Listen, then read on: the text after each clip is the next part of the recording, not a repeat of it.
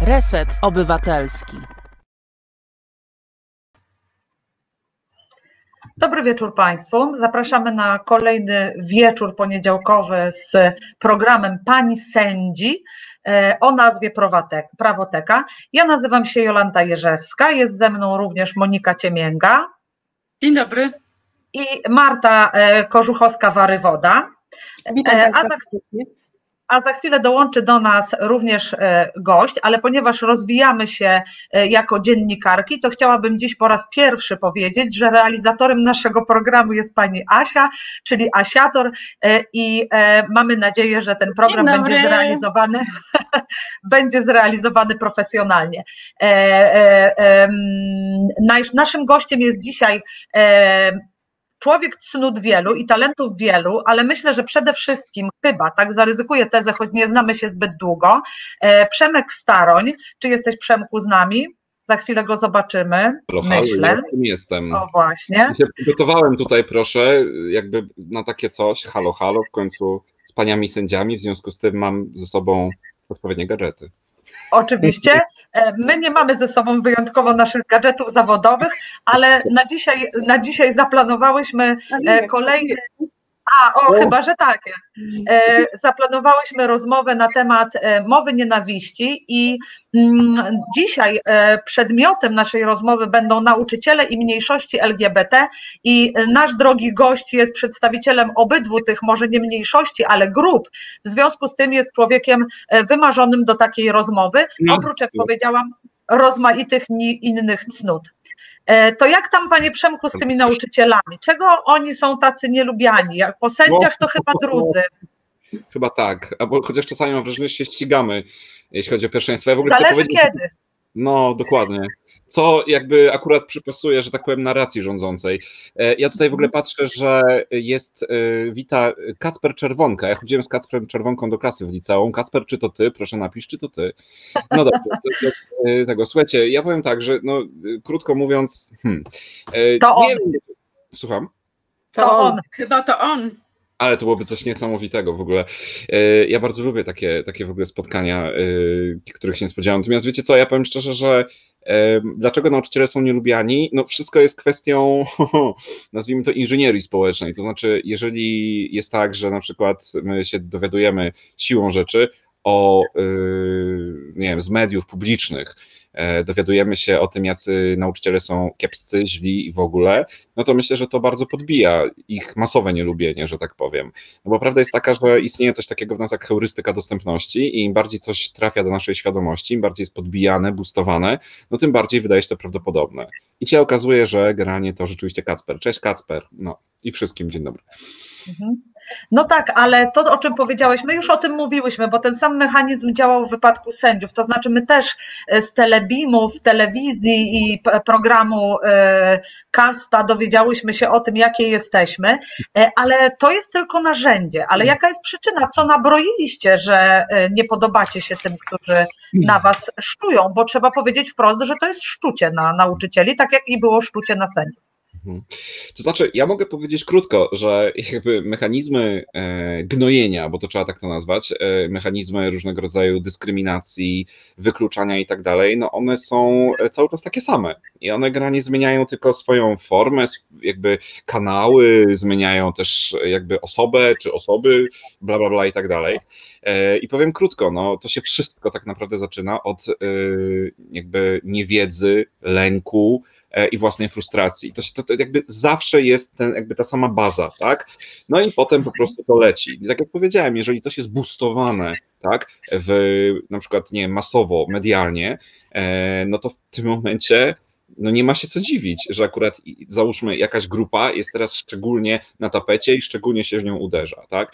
Ale Tutaj, powiedz, tak? E, czy to było tak, że to strajk nauczycieli, który w pewnym momencie mhm. E, dotknął właściwie większość społeczeństwa, to był ten moment, że nauczyciele spotkali się z hejtem takim bardzo powszechnym, czy to było już wcześniej?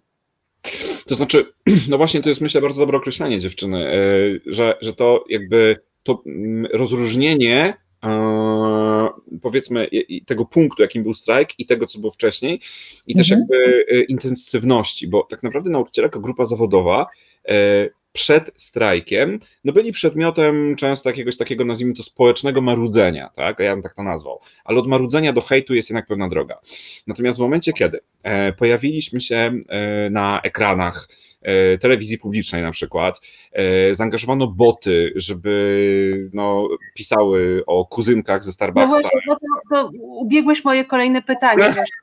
Skąd ten tweet o tej kuzynce, która chciała e, poprawić tą ocenę z polskiego i, i nie było to możliwe? Ja powiem szczerze, najlepsze jest to, że ja w ogóle nie pamiętam, y, kto był zapłakany. Czy nauczycielki ze Starbucksa wychodziły zapłakane, czy kuzynka piła kawę z nimi. Znaczy, ja oczywiście żartuję, bo to były osobne, jakby, te, mhm. ale to po prostu jakby absurdalność już w ogóle tego hejtu, było coś niesamowitego. No, ja mogę powiedzieć krótko, no po prostu chodzi o to, że trzeba było umiejętnie wziąć coś, co będzie mogło podburzyć społeczeństwo. No więc tak, jeżeli mamy nauczycieli protestujących, czyli niepracujących, protestujących, żeby mieli jak najwięcej hajsu, czyli generalnie im się w dupach poprzewracało, to trzeba podkreślić, żeby nauczycielki do Starbucksa chodzą, ciuszki kupują i tak dalej, żeby stworzyć bardzo uproszczony obraz nauczyciela, który ma gdzieś uczniów i dba tylko o siebie. No, no bo to jakby... Ale to, to, no. Ale słuchajcie, to było, to, było, to było już później, ta kuzynka słynna, ale wcześniej, jak były e, zapowiedzi strajków, to pamiętacie, media związane z rządem, pojawiały się takie wypowiedzi, e, jak na przykład ekspert Adrian Stankowski wskazywał ponad 18 miliardów złotych, a to stawiałoby pod znakiem zapytania programy społeczne. On wskazywał właśnie, jakie będą koszty społeczne e, podwyżek dla, dla nauczycieli. I E, od razu wskazywał, że no to trzeba, trzeba będzie komuś zabrać. Albo emerytom, albo 500 plus na e, pierwsze e, czy tam drugie, drugie dziecko. Więc tutaj oczywiście wcześniej, tak jak mówisz, że były te marudzenia, tak, że pracujecie tylko 18 godzin, że nic innego nie robicie i że w ogóle, a potem chodzicie i tak korepetycje udzielacie, ale I to po jednak... Tych resetach, po resetach potem. Inny jest wydźwięk, kiedy, kiedy jest właśnie to marudzenie tak zwane, a kiedy zaczynają brać w tym udział media rządowe, tak? Bo to no. nabiera tej formy takiej zinstytucjonalizowanej, o której mówiliśmy też w przypadku sędziów. Czy Dokładnie, zauważyłeś bo... różnicę? Tak. Tak, bo ja, ja powiem szczerze, że właśnie e, różnica e, w jakimkolwiek marudzeniu. E, posłuchajcie, ja przepraszam, ja wam tylko przerwę, ale przeczytałam na komentarzu, że pani pyta, kto podrzuci link albo dwa słowa wstępu, o co mam z tym hejtem i tweetami, bo ja nie w temacie. Czy możecie wyjaśnić, o co chodziło w kontekście nauczycieli z no takimi hmm, chyba fake, to były fejkowe tweety, tak? Kto opowie, o co chodziło? To może ja zacznę. E, Proszę. W momencie, kiedy pojawił się, e, kiedy rozpoczął się strajk nauczycieli, najpierw na Twitterze, ale to było wielokrotnie powielane, pojawił się taki tweet, że moja kuzynka poszła do szkoły poprawiać ocenę na świadectwo maturalne i wychowawczyni ją wyrzuciła, mówiąc, że strajkuje i ona wróciła z płaczem do domu.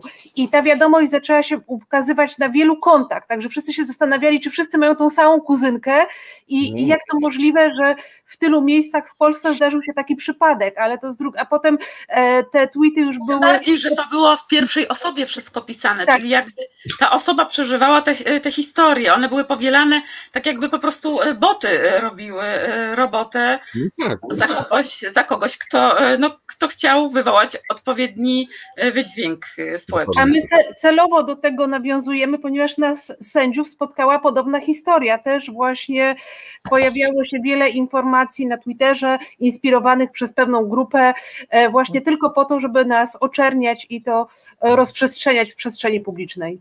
Tak. No bo dokładnie, no bo słuchajcie, no bo prawda jest taka, że sędziowie i nauczyciele mają ten wspólny mianownik, że często kojarzą się jednak z tak, takimi niezbyt przyjemnymi emocjami, tak? No nie czarujmy się, bo jednak sędzia tak. siłą rzeczy wydaje wyrok, który może ludziom się nie podobać, zresztą cała w ogóle struktura sądownictwa też jest taka często dość sztywna, chłodna dla przeciętnego obywatela.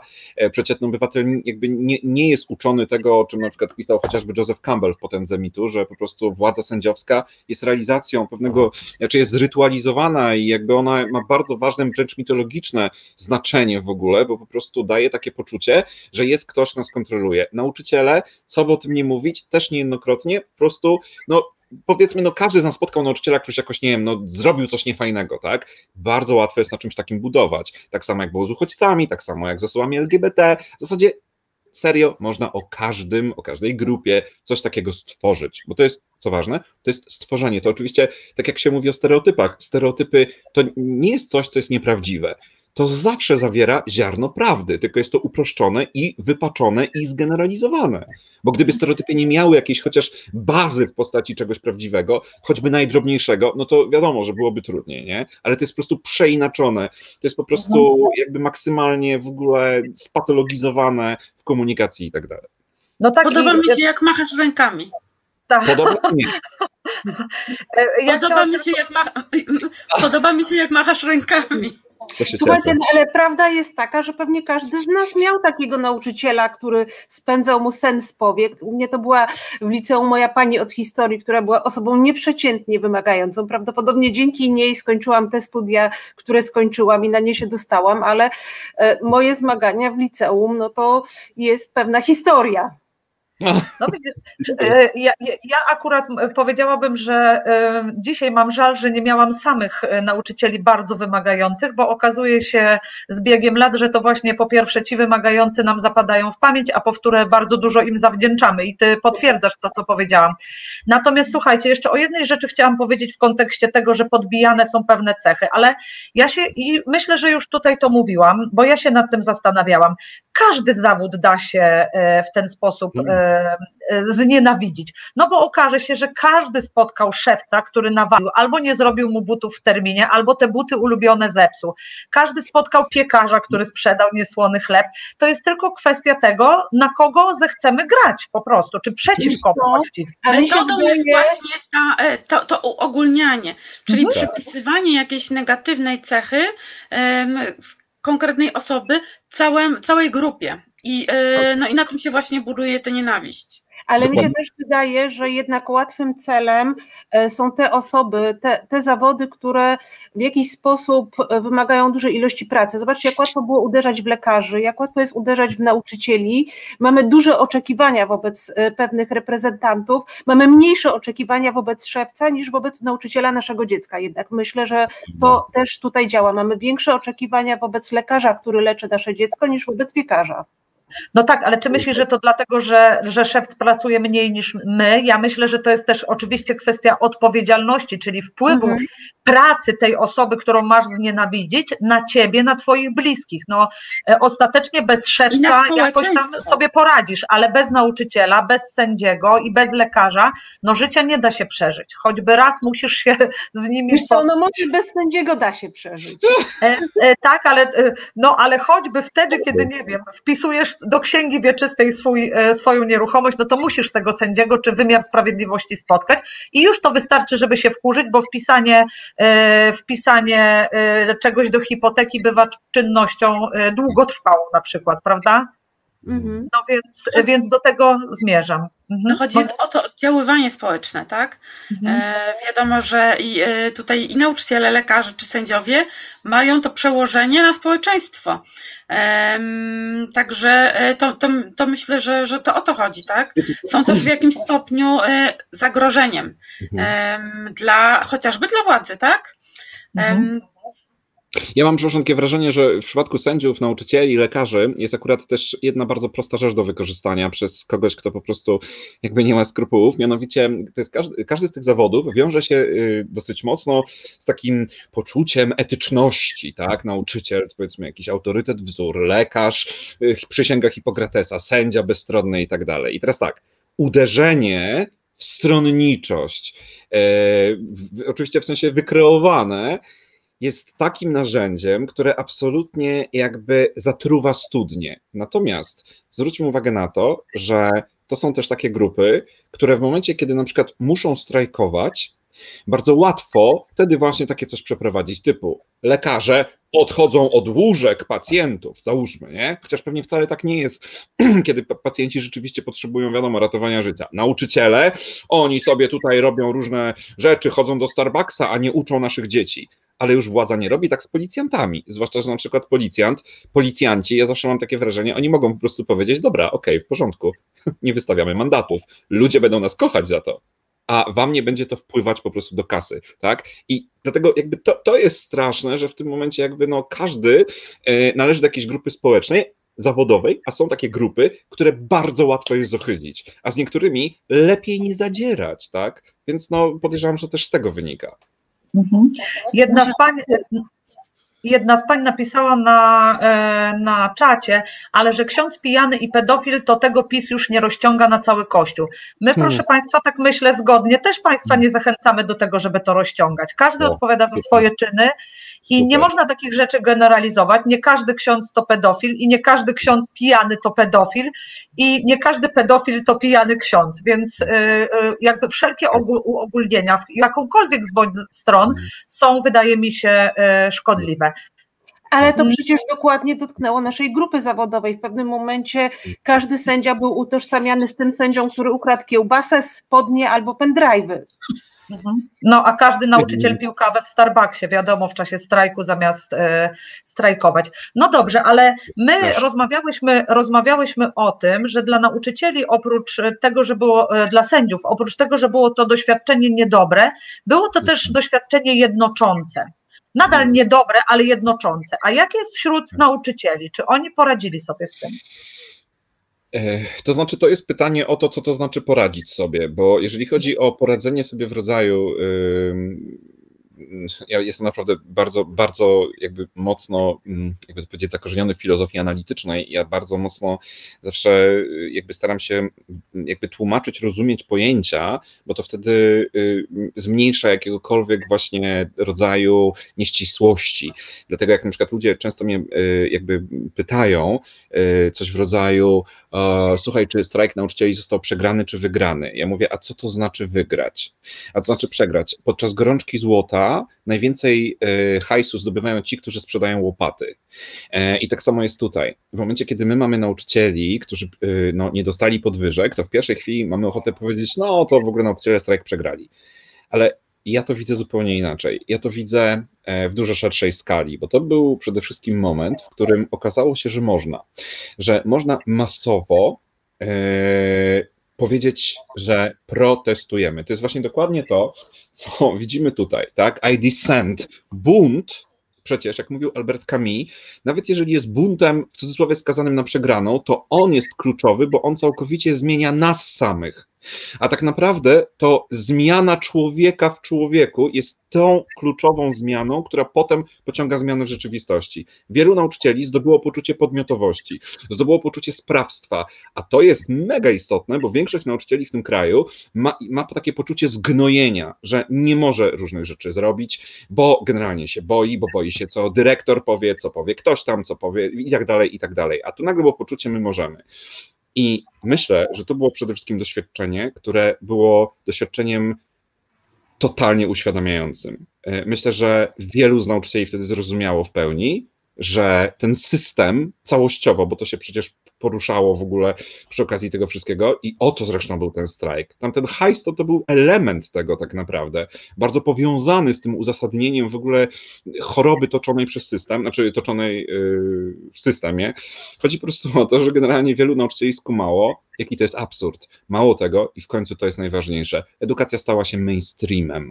Wcześniej, ja tego nie zapomnę, jak ja na przykład robiłem mnóstwo różnych rzeczy, wow, czy o tym pisały media? Nie, media napisały w momencie, kiedy zostałem nauczycielem roku, bo o matko zaprosił partnera na scenę, nie?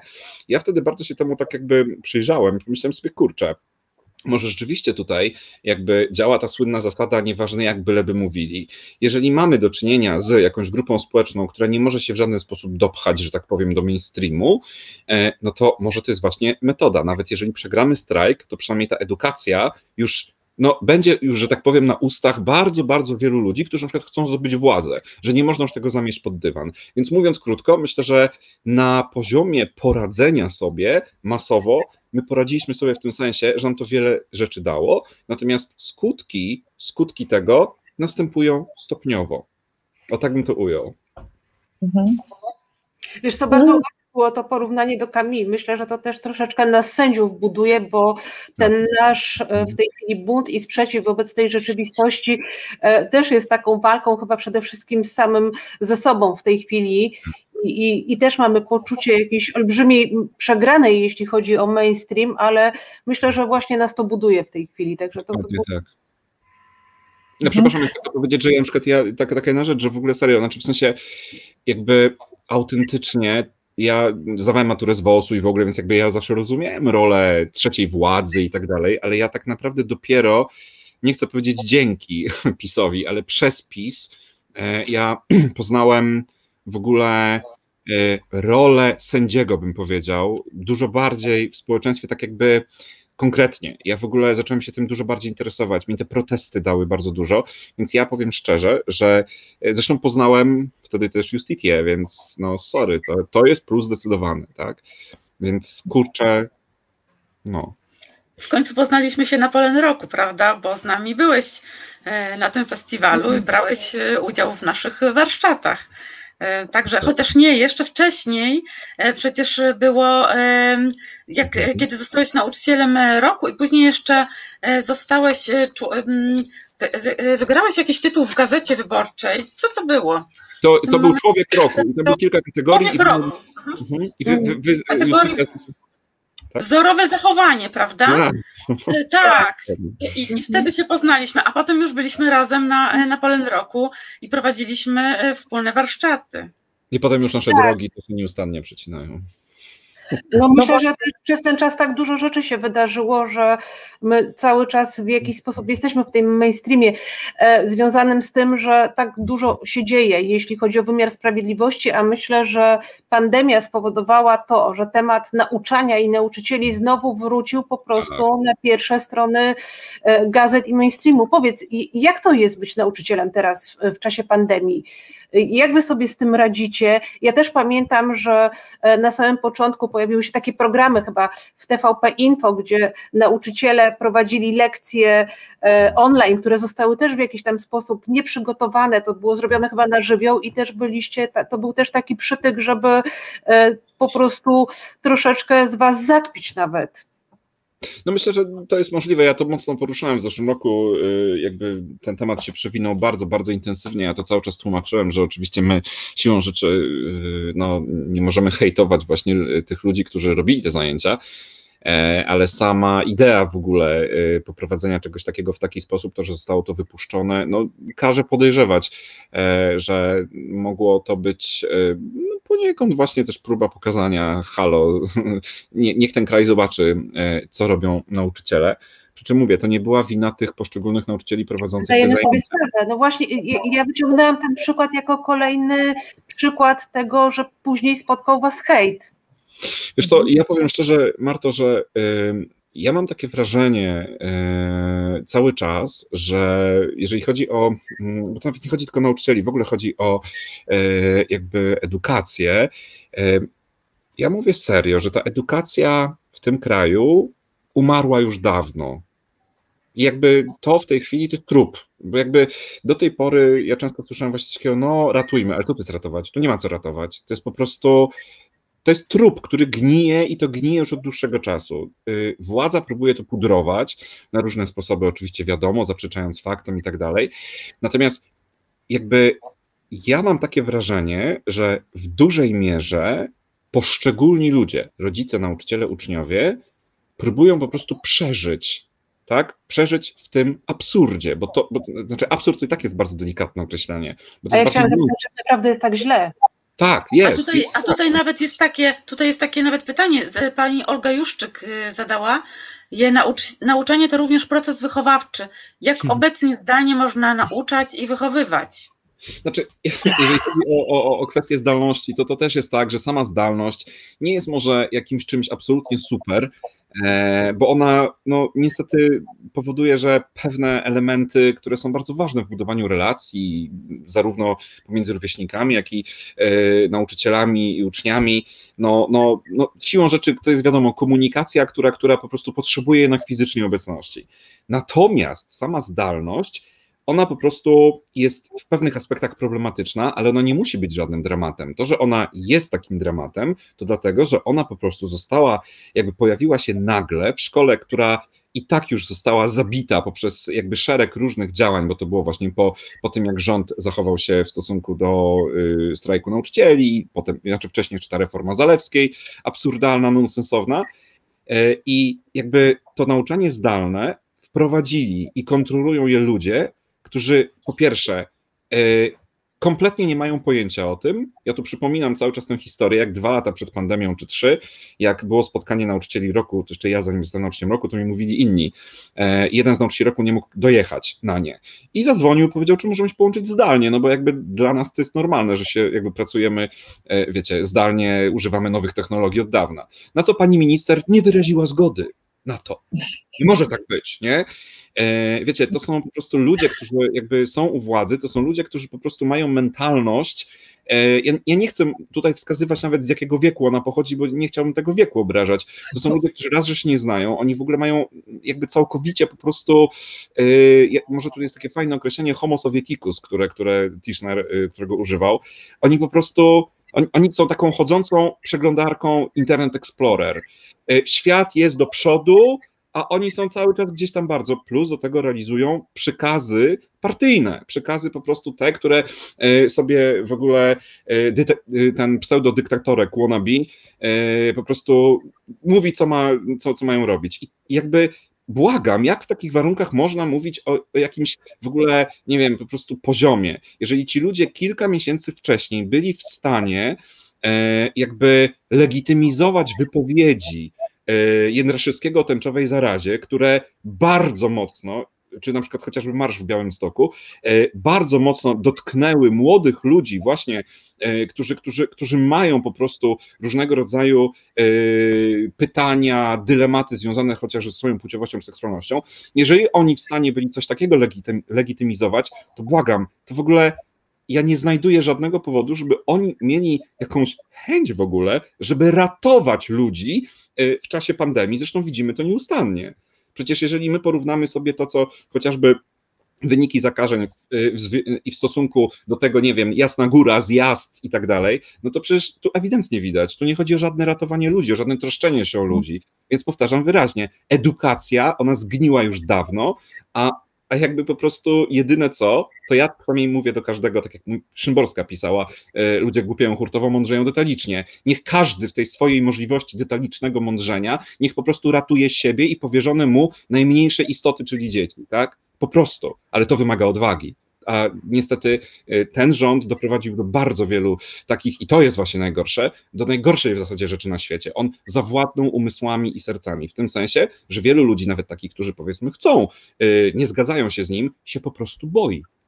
I to jest straszne. Boi się to jest straszne, twoja diagnoza jest straszna. My się chyba musimy zbliżyć do przerwy w tym mhm. momencie, ale Żeby myślę, ochłonąć. Tak, ale myślę, że też zacząłeś e, drugi temat, który myślę, że też jest tym tematem, o którym dzisiaj chciałyśmy rozmawiać. Także. Mhm. Kumam. E, rozumiem, że mam zarządzić przerwę, bo ja jestem od zarządzania przerw. To ja zarządzam teraz przerwę i piosenkę, ale powrócimy oczywiście po piosence do drugiego tematu, czyli do e, mniejszości LGBT i o tym, co się z dziećmi takimi w szkole dzieje i jak one się tam mają. Zapraszamy na przerwę.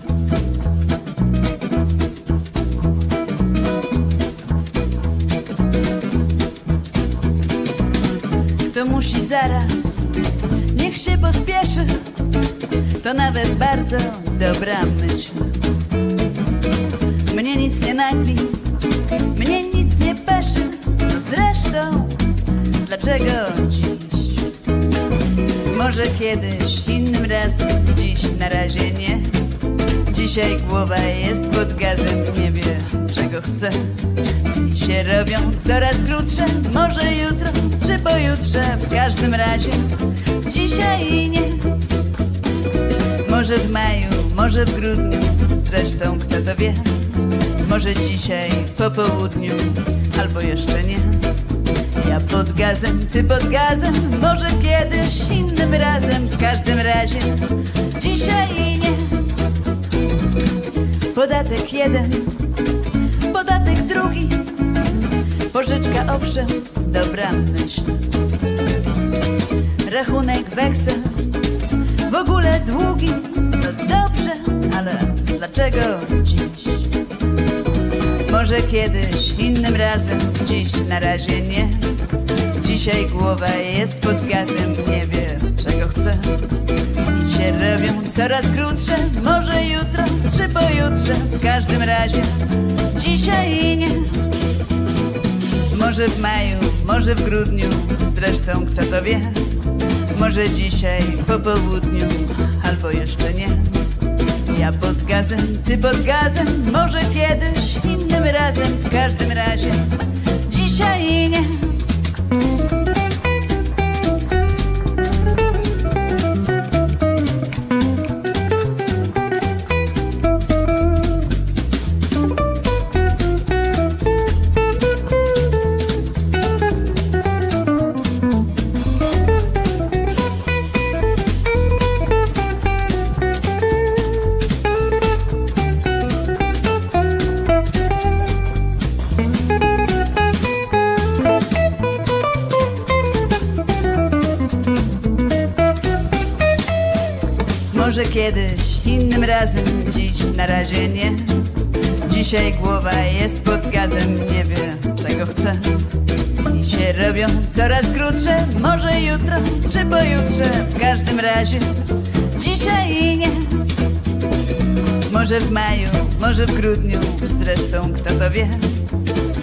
Może dzisiaj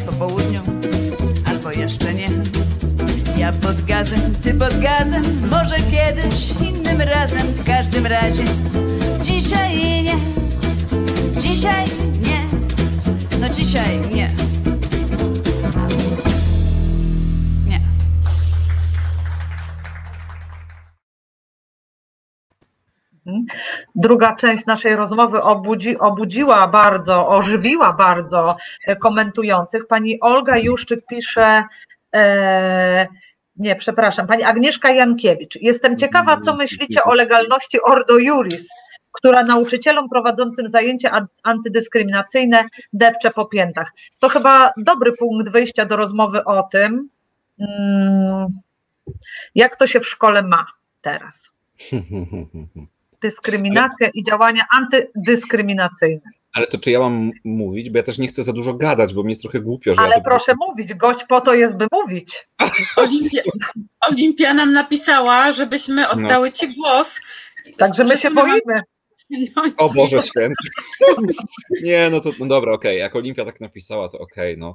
E, Słuchajcie, ale Koniec. tak, e, tak jakby serio, w ogóle Agnieszka to jest e, mega nauczycielka e, od sztuki, która w ogóle prowadzi też właśnie razem z nami webinary e, w mobilnej szkole Operonu. E, I jak zobaczyłem, że Agnieszka, to w ogóle się bardzo cieszyłem. Cześć Agnieszko. Agnieszka w ogóle naprawdę to, co robi, to o, właśnie to jest taki symbol. Ja pozwolę sobie właśnie powiedzieć, że jakby naprawdę można uczyć e, nawet najbardziej takiego mało istotnego przedmiotu w systemie edukacji, e, a zrobić go czymś wow. Tak samo jak można to zrobić z matematyką, tak samo jak to można zrobić z biologią i ze wszystkim. Kto chce szuka sposobu, kto nie chce szuka powodu. Problem jest oczywiście taki, jeżeli to e, szukanie, znaczy jakby szukanie ciągle wymówek jest pokłosiem wypalenia zawodowego, które akurat w polskim systemie edukacji bardzo łatwo. E, Natomiast jeżeli chodzi o to pytanie bezpośrednio Agnieszki e, o Ordo Juris, znaczy ja powiem krótko, ja mam w sobie e, bardzo mocno mm, słowa Karla Popera, który e, podkreślił, że e, wszystko powinniśmy tolerować poza nietolerancją. Bo jeżeli my będziemy tolerować nietolerancję, to ona się tak rozpanoszy, że po prostu w pewnym momencie yy, no, uniemożliwi w ogóle funkcjonowanie w społeczeństwie oparte o tolerancję. E, To jest trochę ten kazus, na przykład, yy, jak powiedzmy, wyobraźmy sobie, nie wiem, Harry'ego Pottera e, i mamy, załóżmy, śmierciożerców, e, którzy, którzy robią bardzo złe rzeczy i mówimy, nie, niech oni będą, no przecież to jest kwestia wolności słowa. Mnie to, dla mnie to jest w ogóle fascynujące, e, kiedy myślę sobie o Wiktorze Franklu e, i tym, co on powiedział, że to jest błąd, że w Stanach Zjednoczonych na wschodnim wybrzeżu stoi statua wolności, a na zachodnim nie stoi statua odpowiedzialności, że my globalnie e, oderwaliśmy wolność od odpowiedzialności, gdzie one to są dwie wartości, które są złączone ze sobą jakby istotowo. Wolność bez odpowiedzialności po prostu staje się karykaturą wszystkiego. I więc kiedy ja słyszę, o, o wolność słowa, nie? Ja mówię, okej, okay, pod warunkiem, że to słowo niesie ze sobą odpowiedzialność. E, śmierciożercy w Harrym Potterze wykorzystywali to e, do czynienia zła. I tak samo mamy Ordo Juris, które tak naprawdę już abstrahując w ogóle od tego, że jak wiemy, nie można mówić e, absolutnie, broń Boże, nie myślcie sobie, że Ordo Juris to jest, wiecie, jakaś tam e, grupa opłacana przez Kreml, fundamentaliści i tak dalej, niech wam to nawet do głowy nie przyjdzie. Natomiast jakby to, co jest kluczowe, to to, że Ordo Juris, abstrahując od tych wszystkich prawnych jakichś korzeni i tak dalej, to jest po prostu grupa, która wprost, używając tego poperowskiego określenia, e, czy, czy, czy w ogóle rozumienia, ona po prostu podkopuje społeczeństwo otwarte, społeczeństwo obywatelskie i tak dalej. Wprost. I oni się z tym nie kryją. Więc jeżeli my widzimy ludzi, którzy po prostu mówią, że prawa jednostki, które przypominam, są osiągnięciem naszej cywilizacji, kiedy wyszliśmy z tego trybalnego, plemiennego e, w ogóle oddawania jednostki, czy składania jej na ołtarzu narodu, e, więc prawa jednostki są y, sukcesem cywilizacji. I kiedy oni wprost mówią, brz, brz, weźmy te prawa jednostki, wyrzućmy, nie? To jak takie coś w ogóle może istnieć? W ogóle istnieć jako podmiot prawny? Co ciekawe, jeszcze dodam taką jedną rzecz, ja z tego co wiem, to w polskim prawie jest zabroniono odwoływanie się do nazizmu, komunizmu i faszyzmu. Ale fascynuje mnie to, że to jest takie skupianie się na pojęciach. Jeżeli się pojawi, tak jak na Facebooku, pojawi się słowo jakieś tam brzydkie, Facebook potrafi zablokować posta. E, ale jeżeli jest treść jakiegoś posta, która jest absolutnie godząca w człowieka, nie pojawi się żadne brzydkie słowo, to to jest okej, okay, bo to nie narusza standardów społeczności. I tak samo jest z nazizmem, faszyzmem, komunizmem. E, Ale za czy prost... Mhm. E, kończę już dosłownie, wprost odwoływanie do tego jest niby bezprawne, ale kiedy ty mówisz wszystko, wszystko to, co leży u fundamentów faszyzmu, to jest okej. Okay. To jest okej, okay, bo nie używasz słowa faszyzm. To ale my tak, my tak mówimy tutaj o, fa e, o faszyzmie, mówimy e, o, o Ordo Juris, ale zobaczcie, jakie zagrożenie idzie ze strony osób, które mogą przeciwdziałać tego typu działaniom. I ja tutaj chciałam się powołać na na, na 30 przykładów spraw mowy nienawiści, e, które, e, w których działania prokuratury budziły wątpliwości według Rzecznika Praw Obywatelskich. E, I właśnie jedna z takich spraw, no bo to chodzi o to, żeby prokuratorzy podejmowali działania. I no tutaj taki jaskrawy przykład, to był rok 2018. 30 listopada 2018 roku prokuratura rejonowa w Tarnowskich Górach odmówiła wszczęcia dochodzenia w sprawie, w której e, jednym z wątków było publiczne propagowanie rozwiązań charakterystycznych dla faszystowskiego lub innego totalitarnego ustroju państwa, polegające na zamieszczeniu w internecie komentarza o treści za czasów Hitlera, Stalina i innych przywódców, to wszyscy ci tęczowi poszliby do pieca albo na rozstrzelanie. Homoseksualizm, jak i cały gender, jest chorobą psychiczną i nikt mi nie wmówi, że miłość między dwoma facetami lub dwiema kobietami jest normalna, to są urojenia i należy z nimi walczyć. E, I wpis ten zamieściła osoba posługująca się nikiem Polska dla Polaków, pod artykułem informującym o organizowanej w szkołach akcji tęczowy e, piątek. Mhm. Tylko, że e, problem jest taki, że prokurator nie dopatrzył się tutaj przestępczego działania po stronie dokonującego wpisu i nie, nie, nie zauważył tutaj propagowania ustroju totalitarnego, uznając, że samo stwierdzenie, że osoby homoseksualne poszłyby do pieca lub na rozstrzelanie za czasów rządów wspomnianych przywódców, jak określa ich autor, nie może być uznane za propagowanie ustroju faszystowskiego lub e, totalitarnego. To e, jeżeli prokurator podejmuje takie decyzje, no to powiedzcie mi, co, e, jaki musiałby być ten wpis, żeby został uznany za propagowanie takiego ustroju. No właśnie. Ja, ja bym zapytała inaczej. Jak to się przekłada na to, co wolno w szkole na przykład? Mhm. No właśnie, i tu jest ten problem, że w tym momencie, e, kiedy my e, jakby uświadamiamy sobie, że żyjemy w rzeczywistości, w której, no powiedzmy, takie elementy jakby relacji międzyludzkich, jak na przykład nienawiść, agresja są zawsze, to możemy, znaczy były od początku jakby istnienia ludzkości, to możemy zadać sobie takie pytanie, e, na czym polega jakby fenomen tego funkcjonowania obecnie w tym państwie. To nie jest tak, że my, że powiedzmy nagle się teraz narodziła nienawiść coś w tym rodzaju. Nie. Chodzi o to, że ona teraz jest legitymizowana. I teraz tak, jeżeli ona jest legitymizowana na poziomie państwa, które steruje przecież, jakby nie patrzeć, e, jak wiemy, e, różnymi tutaj, w sensie to nie jest tak, że to po prostu, o, teraz prokuratura jest sobie wolna i tak dalej, bo tego po prostu mamy przykładów mnóstwo. Jeżeli ktoś sobie na to patrzy i widzi tak, że prokurator nie dopatrzył się czegoś takiego, zaczyna się bać, że jeżeli będzie na przykład mówić tego typu rzeczy, w sensie odwrotne w szkole, no to wtedy co? No to wtedy może na przykład mieć problemy. I to jest właśnie jakby ta kluczowa y, forma jakby kontroli, którą y, jakby w takich właśnie państwach, w których my widzimy rodzące się dyktatury, która następuje, sianie strachu, lęku, tak, bo coś się stanie. I dlatego między innymi, ja znam bardzo dużo takich przykładów, ludzie, którzy na przykład w szkołach mają problem z osobami LGBT, e, to nie są tylko ludzie, którzy po prostu, nazwijmy to, mają takie przekonania i chcą cisnąć te osoby. Bardzo dużo jest tych osób, które się po prostu boją. One się boją o siebie, e, one mają rodziny, mają pracę i tak dalej. I teraz jakby kluczowe jest to, to co powiedziałem wcześniej, że jeżeli my jako jednostki będziemy w sobie odkrywać fundamentalną niezgodę na to, będziemy odkrywać sobie konieczność moralną postawienia temu, jakby powiedzenia temu nie, e, jakby zbuntowania się, no to wtedy rzeczywiście coś się może zmieniać. Natomiast to jest kwestia jednostek. E, jedno jest pewne, że takich ludzi jest wielu. Ja się z tego bardzo cieszę. Jest wielu nauczycieli, wielu nauczy wiele nauczycielek, którzy robią takie coś pomimo wszystko. I faktem jest, że ktoś kiedyś fajnie powiedział, że najbardziej niebezpieczna jest ta osoba, która się nie boi. No bo co? Bo ona no bo właśnie jej się nie da tak, tak po prostu zagrać jakby różnymi tymi elementami, które powstrzymały jej działanie. I natomiast ja mówię, ja, ja nie chcę tutaj może oceniać, tak? Nie chcę oceniać ludzi, którzy, którzy się boją i pod wpływem tego nie zabierają głosu, bo to nie jest moja rola. Natomiast ja chcę tylko powiedzieć, że y, jakby jeżeli biją kogoś, jeżeli stosują przemoc psychiczną, werbalną, a ty milczysz, no to sorry, jakby milczenie jest, jest de facto zgodą na, na, na Przyzwoleniem.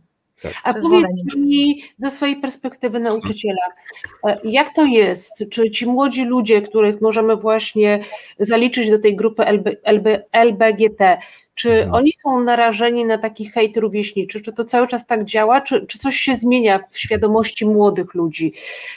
Mhm. Jak to teraz wygląda? To znaczy, to jest tak, że y, to jest akurat pewien plus, że rzeczywiście mm, my żyjemy w takich czasach, w których y, gdyby powiedzmy zapomnieć o tym, nie wiem, o państwie, w którym żyjemy, to w kulturze y, wątek powiedzmy wyjścia poza heteronormę, on jest obecny bardzo mocno. E, on jest jakby wręcz powiedziałbym w takiej kulturze, która przychodzi na przykład do nas mocno e, gdzieś tam z zachodu, którą, którą młodzi ludzie znają doskonale. E, on jest, on jest czymś zupełnie normalnym, jakby okej, okay, w ogóle nie ma z tym żadnego problemu. Kiedyś by to nie było w ogóle absolutnie do pomyślenia, natomiast no, jest chociażby taki film animowany, nie wiem, się nazywa Ralph Demolka, czy jakoś tak, gdzie tam się nagle okazuje, że to jest w ogóle, jest jakiś bohater, który jest chłopakiem czyjegoś brata, nie? No kiedyś to w ogóle było nie do pomyślenia. I rzeczywiście jakby dla wielu młodych ludzi jakby to, to jest kompletnie jakby spoko, nie? Zupełnie spoko. Natomiast jednocześnie trzeba mieć tę świadomość, że to bardzo wiele zależy od, y, nazwijmy to, obszaru, tak? Ale to nawet nie chodzi o to, jak to się często mówi, że Polska A i Polska B, e, tylko po prostu chodzi o pewnych uwarunkowań jakichś takich systemowych, mentalnych, środowiskowych i tak dalej. To nawet może być taka sytuacja, że jest miasto, które, w którym ogólnie wydaje się, że jest bardzo liberalnie, natomiast no, powiedzmy jest szkoła, w której, e, której no, niestety jest e, jakieś takie zapędy równościowe są bardzo tłumione, tak? Więc jakby o tym trzeba myśleć, albo tak jak ktoś tutaj pisał, że na przykład są sytuacje, gdzie uczeń w szkole dostaje pełne poparcie, a w rodzinie niestety y, dostaje coś zupełnie innego, tak? I jakby jest taki schizogenny komunikat wtedy. E, natomiast to, tak jak mówię, to są przede wszystkim problemy dorosłych. Młodzi ludzie, zresztą to widać bardzo mocno w badaniach, różnych raportach, które pokazują e, właśnie jak bardzo młodzi ludzie są pro, jeżeli chodzi o właśnie takie postawy liberalne, równościowe i tak dalej. Oczywiście cały czas jest jakby do wykonania sporo pracy, ale powiem krótko, że gdyby tylko młodzi ludzie mieli na przykład, no nie wiem, załóżmy w referendum zdecydować, czy nie wiem, wprowadzić by e, pełną równość małżeńską i tak dalej, jest bardzo duże prawdopodobieństwo, że e, ono by w ogóle zostało wygrane bez problemu, bo rzeczywiście w raportach to widać, tak? Więc tyle mogę powiedzieć tak ogólnie, że tak powiem. Czyli nadzieja w młodym pokoleniu. No, oczywiście, że tak. A obecnie ogóle... powstaje też obecnie powstaje też ranking szkół przyjaznych tak. dla LGBT, prawda Przemku? Może opowiesz tak raporcie, bo wydaje mi się, że to jest naprawdę wspaniała inicjatywa. Tak, to w ogóle robi Dominik Kut, który y, jest naprawdę człowiekiem y, niesamowicie godnym jakby naśladowania i to jest właśnie taki człowiek, który e, jakby pokazuje, że no właśnie pewne wartości jakby są, są e, no kluczowe i bezwzględne, że tak to nazwę. E, to jest chłopak naprawdę, który, który zresztą też jest mega nagrodzony, więc można bez problemu znaleźć o nim informacje w Google'ach. On, jeśli dobrze pamiętam, chyba w 2018 roku robił pierwszy, pierwszą jakby edycję tego i to jest jakby, można powiedzieć, dla przeciwwagi, znaczy w ogóle to, to jakby to określenie, ten ranking, ono tak bardzo fajnie jakby występuje tutaj w kontekście czegoś, co jest absolutnym nowotworem polskiej edukacji, czyli rankingi szkół. E, bo, bo ja ostatnio zresztą wrzucałem cytat takiej świetnej dziennikarki, feministki. E, wyobraźmy sobie, jakbyśmy byli linkowani, a nie rangowani. E, to w ogóle jest coś, co po prostu dla polskiego systemu jest wciąż po prostu niewyobrażalne. I jakby jakby ten ranking szkół LGBT, on wykorzystuje po prostu bardzo fajnie jakby grę tego, znaczy w sensie zabawę tym słowem ranking, bo to nie jest ranking e, w rozumieniu e, czegoś tak absurdalnego jak to, ile procent uczniów zdało maturę, gdzie przede wszystkim powiedzmy sobie szczerze, bardzo często w liceach jest taka praktyka, która oczywiście jest nie wprost, ale to jest jakby bardzo często spotykane, że ucznia, który jest ryzyko, że nie zda matury, po prostu się nie dopuszcza do tej... Tak, e, nie dopuszcza się do matury, żeby nie popsuł nam w ogóle średniej. Przecież to jest po prostu absurd nie do wyobrażenia. E, I jakby tutaj okazuje się, że ten ranking e, opiera się na czymś zupełnie innym. To jest jakby ranking wartości, ranking bezpieczeństwa, ranking tolerancji i szacunku, czyli które szkoły jakby one można powiedzieć, realnie realizują te zasady związane z poczuciem bezpieczeństwa z, z, takim podejściem prorównościowym i ten ranking, co jest ważne, on ma charakter badawczy, tak? Czyli to, to jest jakby, można powiedzieć też coś takiego, że to jest jakby współtworzone e, i to mi się właśnie też podoba, ten badawczy rys. I w tym momencie... A nie myślisz, przepraszam, nie myślisz, że jest ryzyko, że mhm. ten ranking będzie spaczony mhm. dokładnie tym samym błędem, którym jest spaczony inny ranking, czyli jeśli chcesz dobrze w rankingu e, wypaść, no to podkręcasz wskaźniki i wtedy wszystko jest w sreberku ładnie. A nie, uczniowie sreberku... mhm. Uczniowie że... E, biorą udział z danej szkoły, dlatego nie ma takiej, takiego niebezpieczeństwa. Mhm. Te pytania też są skonkretyzowane, mhm. nie, nie, nie dotyczą twojego samopoczucia, czy samopoczucia czy kogoś innego, tylko są jakby zobiektywizowane i możesz napisać tylko o swojej szkole, jako uczeń liceum. Mhm, mhm. Tu jest jakby, kto inny, jakby, że tak powiem, ma wpływ na, na tę treść, która się pojawi. Mhm. Plus y, pamiętajmy o tym, jakby, że y, można powiedzieć, e, skutki wypływające z takiego rankingu nie są zbyt interesujące dla przeciętnej szkoły, no nie czarujmy się, tak, bo jakby no, nie pojawi się to po prostu w rankingu perspektyw albo czegoś w tym rodzaju, nie jest to mhm. takie fancy, e, nie, jakby niekoniecznie oznacza to, że przyjdzie więcej powiedzmy uczniów z jakąś wysoką punktacją, więc jakby oczywiście, że trzeba zawsze uważać na to, żeby wszystko może pójść w złą stronę, ale akurat no myślę, że tutaj tak jak Monika Wiesz, mówi... hordy lewaków po prostu czają się w blokach startowych, żeby zasilić te szkoły swoimi dziećmi. No, tak, deprawacja. Tutaj zresztą y, pod waszym postem na Justiti e, jakiemuś panu odpisywałem generalnie właśnie a propos deprawacji. E, jak on się bardzo przestraszył chyba, że, że tutaj będziemy deprawować nie wiem kogo. Natomiast ja powiem szczerze, że y, jednym z mm, takich bardzo kluczowych działań różnego rodzaju właśnie patologicznych systemów władzy jest próba zbudowania nowego języka. E, jest, zresztą znamy to na pewno, jeżeli czytaliśmy Orwella, tak? W Polsce takie coś się dokonuje nieustannie, zresztą polecam książkę wszystkim tutaj, e, która, która no myślę, że jest świetnym, tej e, Michała Rosinka e, i Kasi Kosińskiej Dobra Zmiana, która pokazuje, jak różne słowa były wykorzystywane. I to jest niesamowite, że coś takiego jak szacunek, coś takiego jak poszanowanie po prostu tego, że ktoś ma inaczej niż ja, jest tak przerobione, żeby kojarzyło się właśnie z deprawacją, ze złem, po prostu z jakimś wypalaniem w ogóle polskości i tak dalej, tak? No ale to jest jakby znane, można powiedzieć, z, z historii. Nie? Dokładnie. E, to, te mechanizmy już kiedyś zadziałały i doprowadziły do różnych katastrof. Tak. Przemku, a powiedz mi, jakbyś miał tak ocenić z własnej perspektywy, bardziej dotyka Cię hejt jako nauczyciela, czy hejt jako osoba LBGT? Wiesz co, powiem szczerze, że mi jest trudno to powiedzieć, bo y, naprawdę mówię serio, bo jakby ja jestem człowiekiem, którego hejt dotyka e, na mocy faktu. To znaczy, ja od wielu lat jestem, nazwijmy to, problematyczną osobą dla wielu, y, bo, bo no przede wszystkim jest coś takiego, co w Polsce, co po, polskie społeczeństwo zjada od środka, to jest po prostu poczucie zawiści. Tak? I jakby ja od momentu, kiedy zacząłem mieć jakieś y, obiektywne sukcesy już dawno temu, to powiedzmy e, były takie k, nie? E, I naprawdę ja znam hejt w każdej postaci. E, hejt związany z tym, że jestem osobą LGBT, szczerze, ja tego już specjalnie nie doświadczam. I co ciekawe, ten hejt, on był gdzieś tam na poziomie rynsztoka, więc jakby dla mnie to w ogóle było błagam. Coś takiego, co po prostu no, jest takie właśnie bardzo mm, botowe. Mnie tak naprawdę to, co spotkało, spotkało coś dużo poważniejszego, mianowicie mianowicie e, my, dopóki mamy możliwość zobaczenia formy jakiejś przemocy, takiej wiecie, po prostu, że ktoś ma podbite oko, tak to nazwijmy, albo zobaczymy komentarz jakiś, to jest pół biedy, bo to jest takie właśnie, my to widzimy i tak dalej.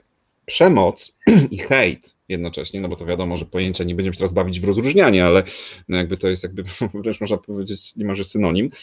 E, najgorsza jest wtedy, kiedy dzieje się w białych rękawiczkach. To jest tak zwana bierna agresja na przykład e, i ja tego gdzieś tam e, doświadczałem, e, właśnie, czyli niby jest ok, niby. Największy hejt swojego życia zaczął, doznałem go w momencie, kiedy zostałem doradcą Szymona Hołowni rok temu w kampanii prezydenckiej. Ja takiego hejtu tak wielopoziomowego nie doznałem nigdy. I co ciekawe, doznałem to od osób, które mają na sztandarach bardzo często walkę z hejtem. I to mi tylko y, jakby przypomina słowa, y, przypominało cały czas słowa niczego, że y, walcząc z potworami, uważaj, żebyś nie stał się jednym z nich. Bo im dłużej wpatrujesz się w otchłań, tym ona się zaczyna bardziej wpatrywać w ciebie. I jakby to jest to, co ja zawsze powtarzam, że my musimy naprawdę bardzo uważać na to, żebyśmy i zawsze, to jest najważniejsze, dbać o jakby tę swoją etyczność. Ja jestem w tej chwili człowiekiem, który jakby ja w ogóle mam bardzo dużo już jakby metod radzenia sobie z tym i to jest w ogóle spoko. Natomiast powiem szczerze, że jakby ja już nie rozróżniam. Ja już naprawdę nie rozróżniam powodu. Ja już naprawdę doświadczyłem hejtu z każdej możliwej y, przyczyny. Natomiast co ciekawe, ja często wykorzystuję jakby swoje doświadczenie, żeby pokazać ludziom różne rzeczy, na zasadzie nie jesteście sami, ale akurat ja jestem w takiej trochę uprzywilejowanej pozycji, e, z tego względu, że no jestem człowiekiem, który jednak żyje w dużym mieście, e, mam jakieś takie powiedzmy obiektywne sukcesy. E, ja zawsze jak myślę o hejcie, to myślę o tych ludziach, którzy się boją, bo mają poczucie, że właśnie za nimi nic nie stoi, tak? To znaczy, że na przykład, nie wiem, są w małej miejscowości, e, że na przykład, nie wiem, boją się, że zostaną wywaleni z pracy, bo nie są na tyle catchy, żeby ich zatrzymać i tak dalej, i tak dalej, tak? Więc jakby ja nie ukrywam, że po prostu mówię, ja już, ja już nawet nie myślę o sobie jakby w tych kategoriach. Ja po prostu jestem człowiekiem, który się nauczył jak Neo z Matrixa, e, jakby na poziomie poznawczym, emocjonalnym, behawioralnym, wyłapywać, łapać te pociski. Ja po prostu je łapię i i serio, to po prostu tak u mnie działa. To o to chodziło w tym twoim biogramie, że jesteś dzieckiem Neo? bo ja nie za bardzo załapałam o co chodzi. Nie, no dziecko neo, w sensie, że to się tak kiedyś mówiło właśnie, jak powiedzmy pojawiła się neostrada e, i mówiłeś tak na ludzi, którzy, którzy tak właśnie trochę jakby e, nie ogarniają rzeczywistości, bo za dużo siedzą przed komputerem. Ja się zawsze śmieję, że jestem dzieckiem neo, to znaczy ja od lat żyję w świecie e, geeków, czyli takich pasjonatów w ogóle różnych treści kultury i tak dalej, więc to, to, to absolutnie tutaj, nie? Ale, ale rzeczywiście teraz sobie pomyślałem, że dziecko neo to ma też Monika sens w ogóle, kurczę, że ja... Bo ja, no. bo ja pierwszy pierwsze co, to pomyślałam właśnie o Matrixie. No to cudownie, to cudownie. Nie, natomiast no bo... wiecie, tak? Tak, słucham. Nie, bo ch chciałam e, poważnie się odnieść do tego, co powiedziałeś, bo rzeczywiście no, to wydaje się dosyć sensowne, oczywiste to, co mówisz, że jako człowiek dojrzały, e, mający sukces, e, żyjący w jakiejś już takiej jednak choć pewnie nie spodoba Ci się to słowo, ale e, pozytywnie stabilnej rzeczywistości, tak, możesz budować w sobie lepszą odporność na to, co Cię spotkało. E, tak. Ale ja sobie pomyślałam od razu o y, Twoim uczniu i to może mówię o jakimś tam abstrakcyjnym mhm. uczniu i to nawet nie myślę o takim uczniu, wiesz, z Twojej klasy w dużym mieście, tylko o takim, który korzysta z lekcji z Tobą w ramach na przykład, mówiłeś o lekcjach w wirtualnym y, E, e, wydawnictwo. Nie, nie, nie. Używałeś e, nazwy, nazwy wydawnictwa. A, wydawnictwo które... Operon, to ta nauczyciela, ale... O właśnie, oper, Operona. No dobrze, ale rozumiem, że, że no, na takiej lekcji czy na takich zajęciach może być osoba, nie wiem, spod, mhm. wschod, ze wschodniej ściany Polski. No to w takim razie rozumiem, że uważasz, że taka osoba E, i myślę, że my też pewnie tak jednak uważamy, jest pozbawiona totalnie opieki, ochrony i wsparcia. I mhm. dopóki to społeczeństwo samo, wbrew władzy politycznej, nam nie dorośnie, na co mamy jednak mhm. nadzieję, że ono się rozwija i będzie się rozwijać, no to ci ludzie co? Mhm. Dla, dlatego, że... czy, po, powiedz, powiedz, a ja. No bo ja chciałam, ja, chcia ja chciałam powiedzieć, że mhm. właśnie Rzecznik Praw Obywatelskich wskazał, w jaki sposób e, walczyć z mową nienawiści. E, zawarł to w, w 20 rekomendacjach e, dla premiera. To było w 2019 roku. I ja sobie wynotowałam kilka takich, które wydają się szczególnie. Obawiam się, że premier tego nie wynotował, Monika. Także no. ale, więcej niż ale jak im, im więcej będziemy powtarzać, dłużej będziemy i częściej powtarzać, tym większa tak. szansa, że to do niego dotrze. E, czyli tak, ściganie z urzędu przestępstw motywowanych uprzedzeniami ze względu na czyjąś niepełnosprawność, wiek, orientację seksualną i tożsamość płciową. Karalność samego członkostwa w organizacjach odwołujących się do totalitaryzmów, a zakazanych na mocy konstytucji. Wprowadzenie ustawowej definicji mowy nienawiści i skuteczniejsze oczyszczenie internetu z, takiej, z takich treści oraz szerokie kampanie społeczne, edukacyjne i szkoleniowe dla różnych środowisk o szkodliwości mowy nienawiści. No, super. To powodzenia, powodzenia. Panie premierze, powodzenia, trzymamy kciuki, naprawdę. Znaczy to jest... Słuchajcie, a ja mam jeszcze jedno pytanie. Najpierw e, może tak, powiedz mi, a jak to wygląda wśród nauczycieli? Ile jest takich nauczycieli jak ty z otwart... Czy jesteś w stanie to w ogóle ocenić? Bo ja chciałabym się odwołać do takiego raportu przygotowanego przez kampanię przeciw homofobii i oni tam wskazują, że na przykład e, tak, takie problemy, że uczeń styka się z homofobicznymi żartami, że jest dysk dyskryminowany, e, wskazują, że w tej chwili częściej to się zdarza ze strony nauczyciela czy pedagoga niż nawet ze strony rówieśników. Czy, tak. czy to jest wniosek tak. wyrwany z kontekstu, czy tak się dzieje naprawdę? Nie, to się tak dzieje, to się tak dzieje i ja już jakby tłumaczę dlaczego. Bo to są w ogóle trzy rzeczy, które gdzieś tam się pojawiły. Y, spróbuję sobie przytrzymać w pamięci, ale to ja może zacznę od tej najświeższej, Marto. E, mhm. Skąd się to bierze? E, jakby to jest tak, że e, młodzi ludzie, tak jak powiedziałem, oni są przepojeni, wysyceni bardzo mocno kulturą e, świata zachodniego, tak? E, I to jest tak, że dla nich wiele rzeczy jest czymś takim zupełnie normalnym. Tak jak też kiedyś na przykład e, są takie memy, fajne zdjęcia, gdzie powiedzmy dziecko o białym kolorze skóry przy, przy, przytula dziecko o czarnym kolorze skóry, no i się mówi, że dzieci nie rodzą się rasistami, tak? I można powiedzieć, że im wcześniej jakby dla dziecka pewne rzeczy są normalne, no tym jakby spoko. Natomiast problem jest z dorosłymi, bo dorośli e, nie przeszli e, tej ścieżki edukacji w której byłoby uczone etyka, byłaby uczona etyka, religioznawstwo, filozofia, współczesne różne takie rzeczy, do których doszła psychologia. I teraz dorośli też z kolei ominęło ich to zanurzenie w tej kulturze. I oni często, po pierwsze, nie mają zielonego pojęcia o tym, e, co oni mówią czy robią. E, ja nie do końca lubię to określenie dziaders, bo to, to ja jednak też dostrzegam w nim dosyć mocny, taki stereotypizujący potencjał. E, bardziej już podoba mi się słowo boomer. O, właśnie to... miałem... No, moja boomer. uczennica kiedyś powiedziała, że ten nasz rząd to jest taka wielka rada boomerów. E, to są ludzie, którzy po prostu jakby ich ominęły, jakby, jakby te, te wszystkie takie elementy, które wiążą się z takim zanurzeniem w świecie. I teraz to jest coś takiego, że na przykład jest nauczyciel, który słyszy, że powiedzmy uczennica Ada jest powiedziane, żeby na, mówić na nią Adam, tak? Na tej zasadzie. On takie coś słyszy.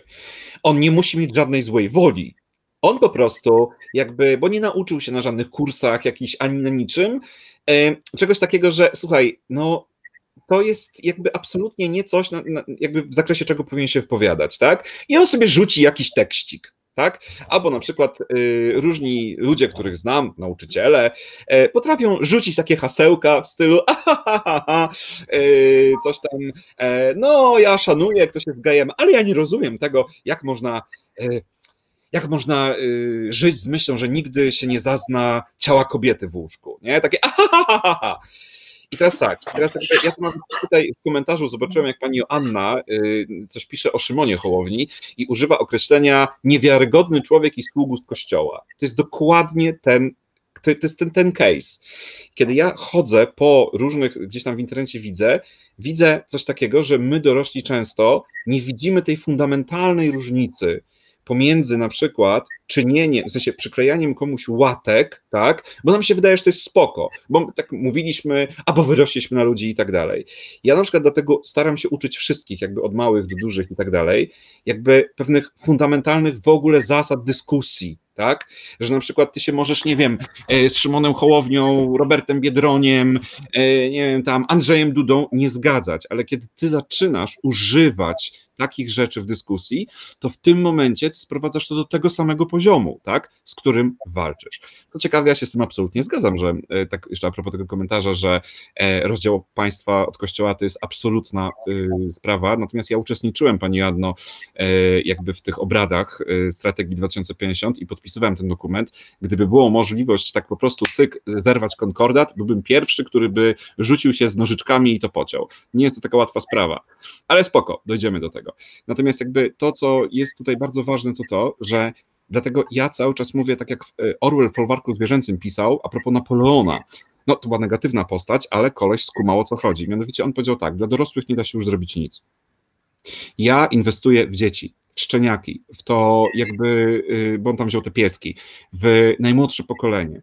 I dlatego ja mówię jasno, że ja nie zmienię y, czy, czy w ogóle my nie zmienimy mentalności ludzi dorosłych, jeżeli oni sami nie będą chcieli wejść na tę drogę zmiany. Dlatego to jest kwestia tego mądrzenia detalicznego. Obszar, mhm. który ja jestem w stanie, jakby rzeczywiście mam poczucie wpływu takiego realnego, to jest obszar edukacji. E, to jest trudniejsze, bo to trochę trwa, tak, e, ale to jest największy bezpiecznik i gwarant tego, żeby, używając tutaj, parafrazując e, no, z Księgi Rodzaju, żeby wody potopu te, tak, tego typu władzy nie zalały więcej tego kraju. E, ja jedynie mogę się odwoływać w różnych sytuacjach do dorosłych w tym sensie, że po prostu jakby dotykać ich, e, nazwijmy to, sumień, ale w taki mądry sposób, nie, że wzbudzasz poczucie winy, tylko raczej uwrażliwiać I co ważne, na przykład właśnie ten komentarz pod postem Justity dzisiaj, e, ja w pewnym momencie zażartowałem sobie z tego, co ten pan pisał, natomiast potem właśnie napisałem to, co często jakby tutaj e, jakby używam, że ty możesz naprawdę myśleć sobie, co chcesz, ale po pierwsze, to są ludzie, którzy naprawdę umierają. To jest tak jak ktoś kiedyś fajny, fajnie napisał w internecie. Chłopcy dla zabawy rzucają kamieniami w żaby. Żaby umierają na poważnie. I ci wszyscy ludzie, LGBT i nie tylko, oni na poważnie popełniają samobójstwa. I teraz ja tłumaczę też jeszcze jedną rzecz i tutaj właśnie to łączę to z tym elementem, o którym, e, do którego chciałem wrócić, e, a propos narzędzi, które są dla mnie bardzo ważne. Ja we wstępie do tej książki, Wszystkie kolory świata, napisałem coś takiego, co staram się właśnie nieustannie przekazywać, że Panie gościu, proszę nie machać, żeby inni mogli obejrzeć, to będzie reklama. Ale przez machanie nie zobaczą. Ja wiem, wiem, wiem. E, to jest książka Cegiełka, cały dochód na fundację dajemy dzieciom siłę, wszyscy pracowaliśmy charytatywnie. E, powiem krótko. E, ja nie wierzę w to, że człowiek, który staje naprzeciwko mnie z miejsca, będzie człowiekiem empatycznym. Ja się preferuję odwoływać do empatii, ale wiem, że to różnie z tym bywa. Dlatego ja się odwołuję bardzo często do kluczowej sprawy. Jeżeli nie chcesz myśleć o ludziach, którzy cierpią e, w wyniku na przykład hejtu, osoby LGBT młode szczególnie, to uświadom sobie, że jakby gnojenie e, przez grupę to wcale nie musi być gnojenie osoby LGBT. Wystarczy, że grupa wymówi sobie samej, że ta osoba jest osobą LGBT. I człowiek, który jest młody, totalnie hetero, zaczyna doświadczać hejtu. E, bo nie wiem, no, ja pamiętam, jak kiedyś mój kolega ze szkoły e, został. Bo ma różowe spodnie. Bo ma różowe e, spodnie. Tak, on miał różowe, czerwone akurat, ale dokładnie tak. Córka koleżanki, która szła z torbą kolorową i ktoś zaczął tam po prostu tutaj tego jakby stereotypizacja, uprzedzenia, one działają w ten sposób, że one prowadzą do tak zwanej generalizacji bodźca. Czyli na początku drażni cię tęcza, potem ty się nie zastanawiasz nad tym, tylko widzisz kilka kolorów i od razu widzisz po prostu zło, widzisz, po prostu LGBT. A co to oznacza? Oznacza to, że yy, drogi hejterze, twój wnuczek może być takim stuprocentowo heteroseksualnym chłopcem i komuś się uroi, że nie jest gejem i zacznie być gnojony. I on jako absolutnie w ogóle niewyznający tak zwanej ideologii LGBT, jak to nazwiesz, drogi hejterze, on na przykład targnie się swoje życie. Hmm? O to tutaj chodzi, że jeżeli nie jesteś w stanie zdobyć się na empatię wobec innego istnienia, i to nie chodzi tylko o człowieka, to chodzi w ogóle o inne istnienie, tak? To skumaj to po prostu, że rewolucja zjada własne dzieci, hejt zjada własne dzieci i twoje wnuki. I nigdy nie wiesz, przypadkiem, czy nawet nie tyle, czy ty będziesz należał do jakiejś mniejszości, czy ktoś ciebie nie zaliczy do jakiejś mniejszości. Do jakiejś mniejszości prawda? Zgodnie, zgodnie ze stereotypowym sposobem kończenia tego e, programu, bardzo bym sobie życzyła mm, zakończyć optymistycznie. To jest trudne ale. po takiej smutnej wypowiedzi, niestety, ale wobec tego, wobec tego jako najstarsza z uczestników tej, tej rozmowy, poproszę starszych, doświadczonych ludzi na Boga, hurtowo, mądrzejcie, detalicznie, bo nas wykluczą. Błagam Was bardzo o to i mam nadzieję, że ta rozmowa do tego e, nam się e, przyda, bo wierzę, że wszyscy mogą zmądrzeć i wierzę w to, że społeczeństwa e, rozwijają się, mądrzeją, niezależnie od tego, co chcieliby ci, którzy nimi manipulują, czyli e, politycy. Ale ja jeszcze dodam, że. Jednak, to się nie skończy. Proszę Państwa, proszę zarezerwować czas do 23. To się nie skończy. Marta, proszę. Jeśli jest nadzieja w młodym pokoleniu, to znaczy, że nasza fundacja ma dużą przyszłość przed sobą. Także tak, edukujmy. Tak. A poza tym, wiecie co, ja chciałbym jeszcze, ja jednak muszę coś dodać takiego narzędziowego, bo po prostu myślę, że żeby każdy też mógł wyjść z takim poczuciem, że e, no, w tych ciemnościach są punkty świetlne. Mariusz Szczygieł, odbierając Nikę, powiedział, że cała nadzieja jest w literaturze e, i chcę powiedzieć, że naprawdę są e, książki wręcz, które nawet jeżeli doświadczasz różnych hejtów i tak dalej, możesz otworzyć i zobaczyć, jak na przykład y, możesz sobie radzić. Ja osobiście z wielką radością i dumą pisałem blerba e, razem z Kasią Nozowską do tej książki Przemoc, podręcznik przetrwania dla nastolatków. Szkoła Internet Rówieśnicy. Ta autorka przeszła to na własnej skórze. Poszła na terapię, yy, przerobiła to wszystko i stworzyła system pomocy, tak? Yy, ja cały czas też mówię zresztą o swojej, ja ją po to napisałem, tak? Jak radzić sobie z życiem. Szkoła bohaterek i bohaterów. Ja to zrobiłem dlatego, bo ja stwierdziłem, że... Czy będzie odcinek dla dorosłych? Jak radzić no. sobie z życiem? Ale to, wiesz co, właśnie, wiesz co jest najśmieszniejsze, Jola? Że ona jest uniwersalna. Wiele osób mówi, że tak naprawdę to jest jak najbardziej właśnie uniwersalne i, i w ogóle. Ja już I zamówiłam, to ja sobie przeczytam. No super, bardzo się cieszę i chcę powiedzieć tylko właśnie coś takiego, że naprawdę jakby jest mnóstwo takich rzeczy, tak? Mnóstwo, które też dają argumentacji. Y, kampania przeciw homofobii, która wydała genialny, to jest po prostu, wiecie, to jest po prostu broszura z dokładnymi informacjami, jak rozmawiać, y, co na przykład oznacza to czy tamto. To są konkrety, to są narzędzia, tak? Czy na przykład to, co kocham, trzecia płeć świata, która po prostu pokazuje na całym świecie, żyjemy poza heteronormą i co? I nic. Czy na przykład. Albo, słuch albo no? słuchajcie, bardzo, bo tutaj musisz jednak otworzyć tę książkę, kupić albo wypożyczyć. To jednak jest wysiłek. Ale wystarczy włączyć internet, wejść na fundację, dajemy dzieciom siłę Dokładnie. i tam jest naprawdę taki doskonały, wspaniały spot. Um, tak. Jestem dla ciebie wsparciem, tak? E, I Dokładnie. to jest konkretny przekaz, więc e, to jest naprawdę coś, coś, e, coś wyjątkowego, a takie proste i krótkie. Tak, mhm. tak, dokładnie o to chodzi. Tak, i to jest bardzo ważne, że właśnie nawet jeżeli, jeżeli powiedzmy z jakiegoś powodu, nie wiem, nie możesz otworzyć książki, może nie możesz coś tam, nie wnikam, po prostu. E, jest internet, e, na YouTubie jest mnóstwo czegoś takiego, no i przecie, przede wszystkim Fundacja dajemy dzieciom siłę. Jedno jest pewne i właśnie to jest dla mnie w tym wszystkim jakby kluczowa rzecz związana z nadzieją, że wszystkich nas nie pstrykną, tak jak Thanos w Avengersach, że wszyscy ludzie, którzy walczą ze złem, nagle znikną. Nigdy nie będziecie szli sami. Dosłownie, żadne żywe istnienia.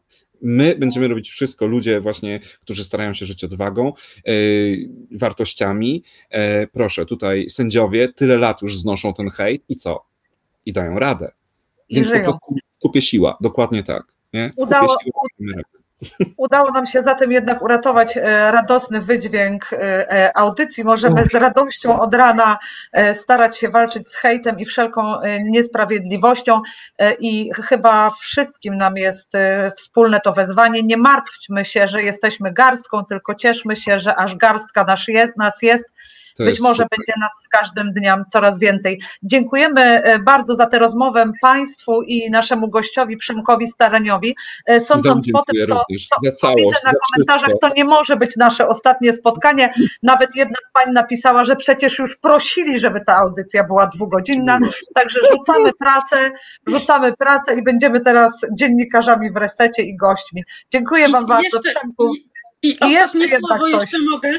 E, tam ktoś pytał, czy bywamy na Polen Roku. Tak, bywamy na Polen Roku i jak tylko e, będzie e, ponownie, to, to spotkamy się. Super. Dokładnie. No I mamy nadzieję, że w tym roku też będzie fundacja na Polen Roku. Super. Tak, ba bardzo Wam dziękuję. No ja mam fatalną rolę w tej e, audycji, e, zupełnie do mnie niepasującą, zwykle przeszkadzam, tu muszę kończyć. E, bardzo dziękujemy. E, posłuchajcie, no możemy umówić się jeszcze raz, naprawdę e, dużo mądrych rzeczy, mam nadzieję, uda nam się powiedzieć. Dziękuję Wam bardzo wszystkim i Państwu dziękuję. Do zobaczenia za tydzień. To my też tak. dziękujemy. Tak jest, wszyscy dziękujemy. dziękujemy. Reset Obywatelski.